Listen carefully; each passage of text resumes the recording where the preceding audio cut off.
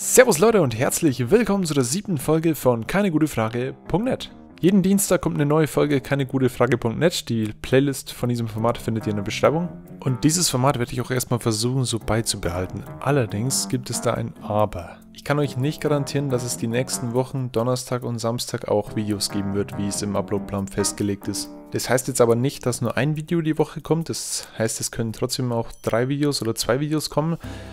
Aber es ist eben nichts festgelegt. Und ich will euch einfach nur Bescheid sagen, nicht, dass ihr dann euch am Samstag fragt, warum kam jetzt am Donnerstag kein Video und warum kommt heute kein Video. Einfach bloß, dass ihr Bescheid wisst. Ich glaube, ich brauche jetzt einfach ein bisschen Zeit, um nachzudenken. Wenn ihr irgendwas am Herzen liegen habt, was ihr mir schon immer schreiben wolltet, aber nicht wusstet wo, weil es euch hier in den Kommentaren vielleicht doch ein bisschen zu öffentlich ist und es weiß ja nicht jeder, wie man eine private YouTube-Nachricht schickt, dann schreibt mir gerne eine Mail an die folgende E-Mail mining.tube.gmx.de. Ich schreibe es euch auch nochmal in die Beschreibung. Das wäre eine Sache, über die ich mich noch mehr freue als über eure Kommentare. Also falls irgendwer eine Idee hat, was er mir schreiben könnte und sich die Zeit nehmen möchte, Dankeschön. Also sorry für den langen Anfang, der eigentlich gar nichts mit dem Format zu tun hat. Dafür geht es erstmal los mit einer richtig durchgebrannten Frage. Ich würde nein, fragt nämlich, kann man sterben, wenn man die Pizza im Ofen vergisst? Wenn man die Pizza im Ofen vergisst, nachts, man neben der Küche schläft, alle Fenster sind unten, ist die Chance hoch, dass man im Schlaf sterben wird? Oder wacht man davor auf? Moment, die Fenster sind unten? Du hast Fenster im Boden? Geil. Dann kannst du ja flott ins Erdgeschoss hopsen, wenn es soweit ist. Ich lese euch zu der Frage mal die Antwort von Gatios vor. Die ist etwas lang, aber ich meine, die hat es verdient, hier ins Video reinzukommen, weil der hat sich hier voll die gute Story ausgedacht. Also Final Destination Shit. Die Pizza ist im Backofen am Schmoren. Ein Klecks von der Käsepizza tropft genau an der Tür vom Backofen. Dieser Tropfen wird von dem Ventilator im Backofen durch die Luftströmung in der Türspalte des Backofens weiter verschoben, sodass er aus der Tür tropft und auf einen Lappen kommt, der auf den Boden gefallen ist. Der Lappen fängt Feuer durch das Feuer über die Küchenrolle auf einen Besen fallen, der genau an der Tür steht. Der Aufprall des Besen in den Flur lässt eine Schraube vom Wandschrank, die schon länger locker ist, komplett den Geist aufgeben und das Regal kracht mit einem Werkzeugkasten, der darauf stand, auf dem Boden.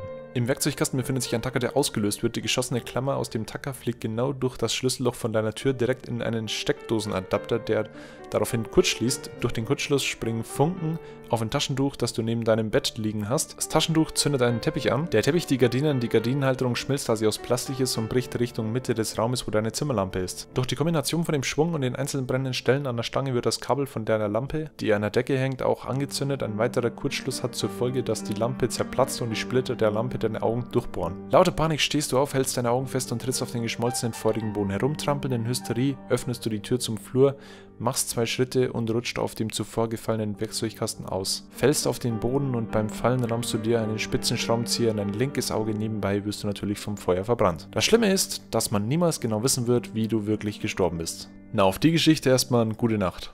Bekommen hässliche Jungs auch eine Freundin, die gut aussieht? Weil es gibt einige Mädchen, die zu mir sagen, ich wäre nicht hässlich und nicht hübsch. Okay, da hast du auf jeden Fall knallharte Mädchen getroffen. Und das sagen viele. Ich will ja unbedingt eine Freundin, die etwas gut aussieht. Und nein, Aussehen ist mir nicht das Wichtigste im Leben, sondern Charakter. Natürlich. Und deswegen habe ich eine Umfrage gemacht, ob hässliche Jungs eine Chance bekommen. Nee, Dennis, es tut mir jetzt echt leid, aber es passen leider nur hübsche Mädels mit hübschen Jungs zusammen und hässliche Mädels mit hässlichen Jungs. Alles andere wäre ein Glitch in der Matrix. Mensch, nächste Woche Abi und noch nichts gelernt. Was tun? Also ich habe da einen Tipp. Ab in den Urlaub. also, was ist das? Junge, hättest du mal lieber äh, die Zeit, die du jetzt da reingeschickt hast, die Frage hier zu formulieren auf gutefrage.net, ins Lernen investiert. Wäre sie besser aufgehoben. Chixer110 fragt. Kann ich die Pizza noch essen? Katzenspeichel. Hab noch Pizza und will die essen. Meine Katze hat die angeleckt. Kann ich die trotzdem noch essen? Ich habe jetzt gerade überlegt, ob ich so eine Frage vielleicht auch stellen würde. Ich hatte halt noch nie eine Katze, also habe da noch nie Erfahrung mitgemacht. Aber eine Katze leckt sich ja die ganze Zeit mit ihrem Speichel ab und wenn man sie dann anlangt, hat man auch den Speichel an der Hand. Aber ich habe gelesen, dass der Speichel antibakteriell sein soll und es auf jeden Fall keinesfalls gesundheitsschädlich ist oder irgend sowas. Sofern die Katze natürlich gesund ist, ist beim Hund übrigens dasselbe. Wird GTA 5 mein Leben zerstören? Hallo liebe User, wie ihr alle wisst, kommt morgen das Spiel GTA 5 in Deutschland auf den Markt. Nun habe ich zwei Möglichkeiten, entweder Abi oder GTA 5. Könnt ihr mir helfen? Ich meine, GTA ist so toll, aber Abitur... Hm... Wer braucht sowas heutzutage noch? Alles überflüssig, ich tendiere eher zu GTA. Und ihr? Ja, ich weiß, Abi braucht man fürs Leben. Aber GTA auch. Falls jemand meinen PC-Namen braucht, GTA 5 Lover 32. Huiuiui. Abi braucht man fürs Leben, aber geht ja auch. Da muss ich mir fast ein bisschen ein Lachen verkneifen. Ja. Stellt euch einfach mal vor, ihr habt jahrelang an etwas gearbeitet und schmeißt es dann einfach von einem auf den nächsten Tag hin, weil irgend so ein Spiel rauskommt. Ich meine, GTA 5 ist ein tolles Game so, aber einfach kein Fick auf den Abi geben deswegen. Ist schon ein bisschen krass. Mich würde interessieren, für was er sich letztendlich dann entschieden hat. Für GTA 5 oder fürs Abi? Wieso wird er im Schlaf nicht wach, wenn ich ihm einen runterhole? Hallo miteinander, ich habe eine Frage. Ich war die eine Nacht total geil und wollte mit meinem Freund schlafen. Da er geschlafen geschlafen hatte, wollte ich ihn dann geil machen. Hallo erstmal. Ich meine, es gibt eine, äh, ich meine, es gibt da nichts Geileres, als so geweckt zu werden. Wirklich? Doch leider wurde er irgendwie nicht wach. Ich konnte machen, was ich wollte. Ich habe ihm eine Stunde fühlte, äh, ich habe ihm eine gefühlte Stunde einen runtergeholt. Er war auch steif, aber er wurde nicht wach. Du hast deinen Freund vergewaltigt. Wenn er das mit dir gemacht hätte, dann hättest du geschrien. Im schlimmsten Fall könnte er dich anzeigen. Das war keine gute Idee von dir.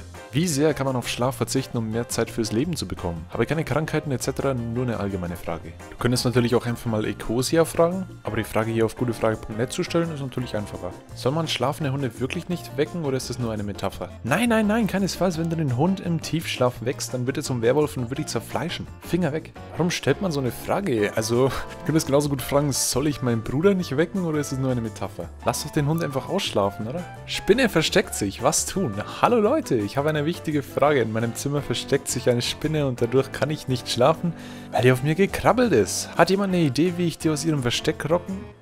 rocken kann. Alles klar. Bedarf Metal!